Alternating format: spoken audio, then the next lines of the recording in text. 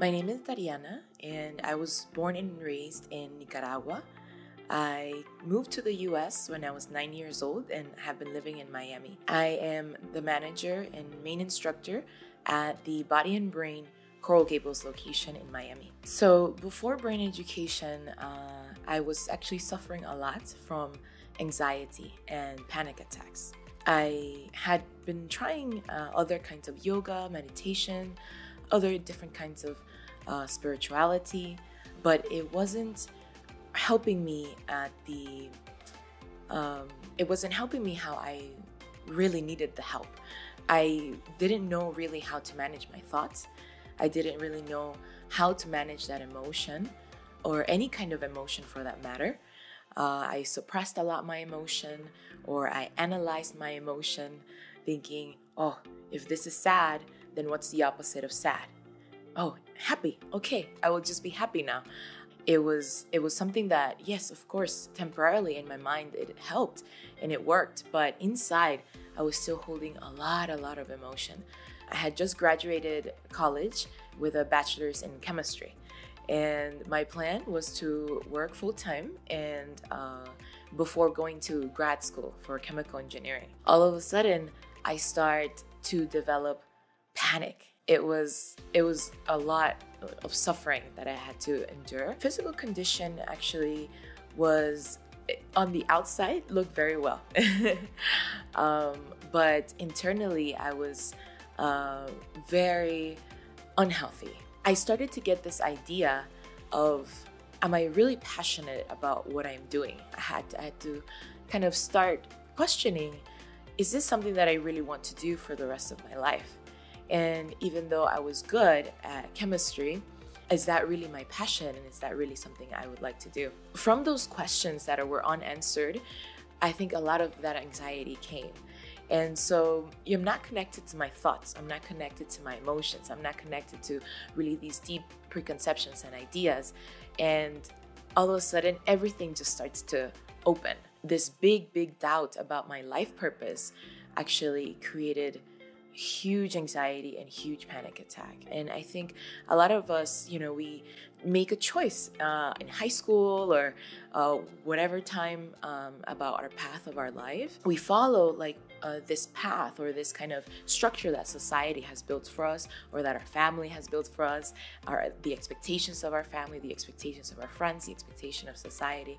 And we make a choice and we go down this path. You know, for me, it felt like I had gone down this path, but really, truly inside of me, I started to feel, oh, did I make the right choice? And is that something that I really want? So that's really like the underlying cause that really helped me just open everything. I really felt very caged and I felt that I couldn't really express who I was. I couldn't really just be passionate and utilize my energy. And I said, ah, oh, this is how it's going to be actually all the time. That's when I started to really ask myself, what do I want? What is it that uh, I want beyond those ideas that I had of myself, beyond those personalities. Um, what do I really, really want for the purpose of my life? And uh, how can I start to get on a path to fulfilling it? One aspect of brain education that helped me so much into understanding and even overcoming my anxiety was being able to be in the present moment. As a chemist brain, I, I, used to think a lot, analyze, calculate, think about the future a lot, and then even think about the past a lot. That was something that I didn't quite uh, know how to do. How to be here and now.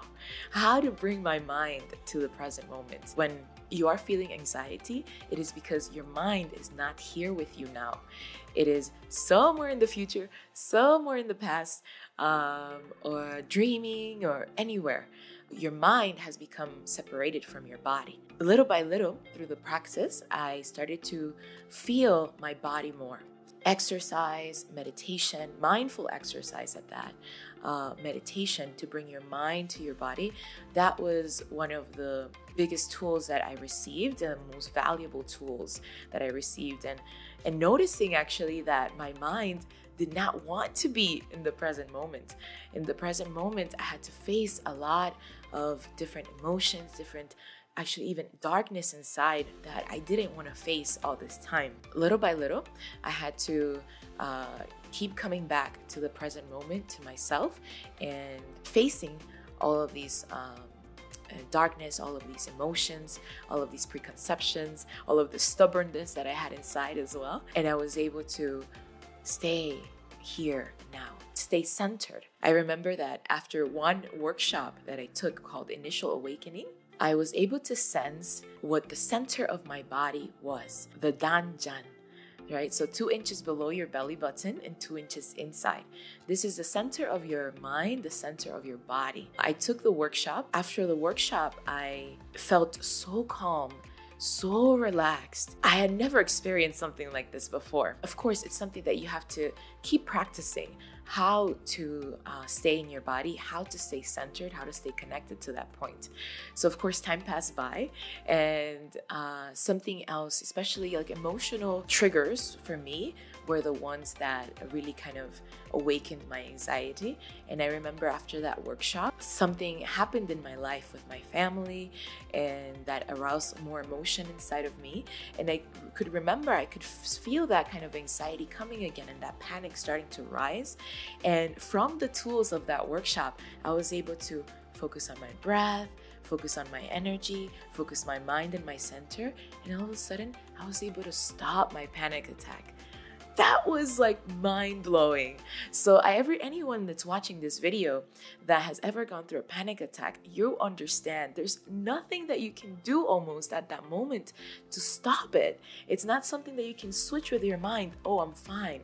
I'm not gonna die. There's really almost nothing that that you can do at that moment to really change it. You just have to kind of let it go through, and then finally it subsides. So that for me was so mind blowing and shocking. And it was something that really inspired me because I thought it was almost like magic, like a miracle. I had been suffering all of these months with uh, panic and anxiety, and even before that, with just, you know, nervousness and anxiety, not being able to feel comfortable with myself or feel confident in myself. And within just one month of practice, being able to manage my anxiety and manage my panic, I was uh, I was so inspired to share these tools with anyone that I could share with. One thing that uh, helped me a lot in understanding uh, or overcoming my, my anxiety was being able to realize that I needed help, ask for help, ask for help. And uh, you're gonna see there's actually a lot of people that want to give uh, uh, give you that help that you that you are seeking, and that are more equipped actually to to help you and to or maybe that have gone through the same things that you have gone through, and um, will be able to guide you through it. If you would like uh, to experience uh, deeper the principles and the exercises, uh, the practice of brain education, I am currently at the Body and Brain Center in Coral Gables, where we teach everything about brain education through simple mindful exercises, energy meditation, and through deep mindful understanding and questioning of yourself. So I would love to help you, and I hope to see you soon.